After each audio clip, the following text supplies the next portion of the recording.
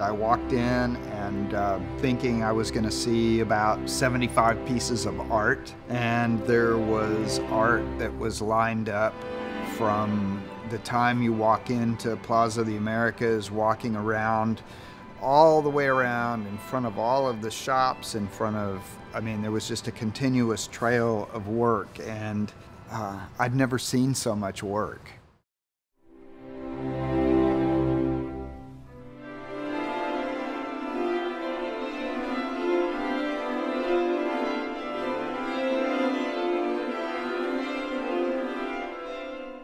Back in 1997, I think, um, I was called up to be a juror for the TVAA show, uh, high school competition. I was so incredibly impressed by the quality of the work, the innovation. I suggested that maybe we could move it, you know, out to UTD and really make it a cutting edge professional gallery exhibition. All the work gets brought in, it all gets tagged, it all has numbers, it all is sequenced, and then the jurors come in and they do three, generally three passes. Say if we have 1,200 works. We usually get it down to about 150 pieces. My gallery and exhibition studies class comes in and we design the show and we figure out where to put all these works. The show is generally up about three weeks.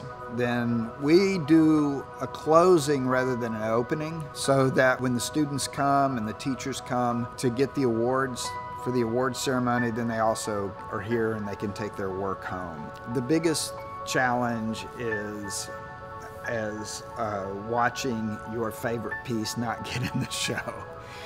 And I see tons of work go out the door that, um, you know, I would have put in in a New York minute.